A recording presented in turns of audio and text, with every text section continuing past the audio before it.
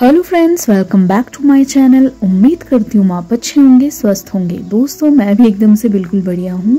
आप देख सकते हो वेदर काफ़ी ठंड हो गई है शिमला में। सुबह से बारिश हो रही है कंटिन्यू और इतना टेम्परेचर डाउन हो गया ना बहुत ज़्यादा। क्योंकि हाइट पे स्नोफॉल हो रहा है, इस करके ना नीचे इधर काफ़ी ठंड हो गई है। आप देख सकते हो बारिश बहुत ज़्यादा तेज़ लगी है। तो ऐसी बारिश में ना मैंने सोचा कि कुछ बनाती हूँ आज। आज मैं बनाऊँगी पहाड़ी डिश काफ़ी कम लोग शायद से उसको जानते होंगे।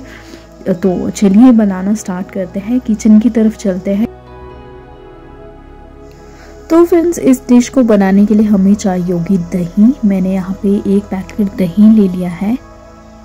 अब इसमें थोड़ा सा ना मैं पानी ऐड कर लूँगी। और अब इसको अच्छे से फेंट लेना है। जब ये अच्छे से मिक्स हो जाए फ्रेंड्स तो यहाँ पे मैं इसमें डालूँगी एक चम्मच लाल मिर्च पाउडर एक चम्मच हल्दी पाउडर एक चम्मच डाला है मैंने इसमें धनिया पाउडर एंड टेस्ट के अकॉर्डिंग नमक।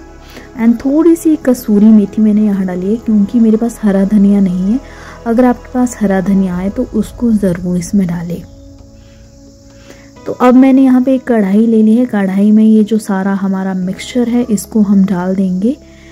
थोड़ा सा पानी मैंने यहाँ और डाल दिया है। अब इसको अच्छे से हिलाते जाना है। जिस तरह से हम कड़ी बनाते हैं ना सेम वही प्रोसेस यहाँ पे हमने करना है। बस जब तक ये बॉईल ना हो जाए, तब तक घुमाते रहना है। अब थोड़ा सा आटा मैंने ले लिया है। इसके ऊपर थोड़ा थोड़ा हल्का हल्का आटा डालना है। ज़्यादा नहीं डालना, बस दो तीन चुटकी डालनी है इस तरह से। एंड इसको अच्छे से मिलाते जाना है। अब यहाँ पे मैंने क्या है, ये आटा ले लिया है। ये पहले का मैंने गूंद रखा है। अब इसमें छोटी छोटी लोइयाँ हमने बनानी है। इसको इस तरह से प्रेस करना है। और इन लोइयों की, आटे की जो लोइया है, इसको इसमें डालते जाना है। ये आटा मैंने पहले के गूंद के रखा था तो इजी हो जाता है इस तरह करना। आप बाद में भी आटा गूंद सकते हैं, उसमें नमक, मिर्च वगैरह डाल के इस तरह से भी बना सकते हैं।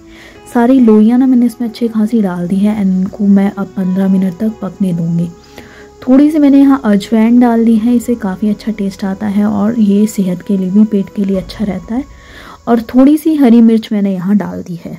फ्रेंड्स इसमें प्याज ज़रूर डालें। प्याज हम आजकल खाते नहीं हैं, जैसे नवरात्रि चले हैं तो प्याज से और ज़्यादा टेस्ट आ जाता है, प्याज, धनिया वगैरह। तो ये देखिए, हमारी डिश बन के तैयार है बट इसको अब क्या करना है? गर्मा गर्म में सर्व करना है।